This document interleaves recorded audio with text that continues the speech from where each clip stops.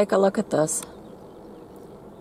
You've got this fake fog rising, forming clouds that go all the way around, you see? This is not fog. It's chemtrail manufacture.